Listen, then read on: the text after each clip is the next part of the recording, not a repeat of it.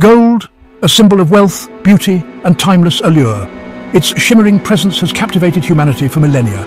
But where did this precious metal originate? The answer lies far beyond our planet. Meet the Magnetar, a neutron star with magnetic fields trillions of times stronger than Earth's. These cosmic giants are among the most powerful objects in the universe.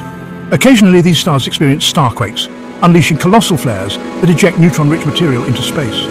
These events are both violent and awe-inspiring.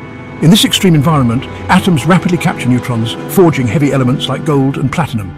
This process is known as rapid neutron capture, or the R process. These newly formed elements emit gamma rays as they decay, a signature detected by our telescopes. This radiation provides crucial clues about their origins.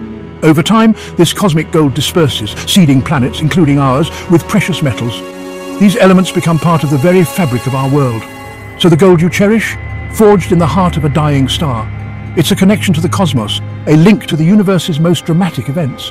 From ancient artifacts to modern treasures, gold's journey began in the violent heart of a magnetar.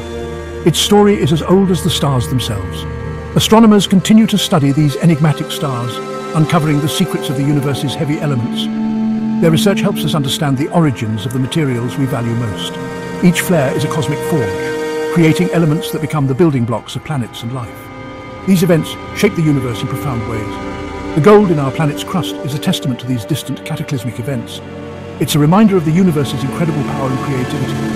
Next time you see gold, remember, it's a relic of a star's final fiery breath, a piece of the cosmos right here on Earth.